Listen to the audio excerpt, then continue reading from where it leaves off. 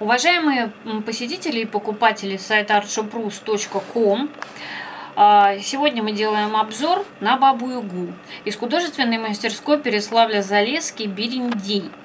Матрешка состоит из трех игрушек, все выточены из дерева вручную. А, в чем отличие ее от остальных игрушек такого же типа? Во-первых, у нее очень профессиональная роспись у Бабы Яги. Детали отлично прописаны кто э, вместе с Бабой Ягой тут идет? Леший, ее приятель и друг. Он хранитель леса, оберегает или пугает, наоборот, грибников, известный фольклорный персонаж. И третья игрушка – это сова. Сова – символ знания, тайных сил и ясновидения, естественно. Главная помощница Бабы Яги в полетах, особенно ночных.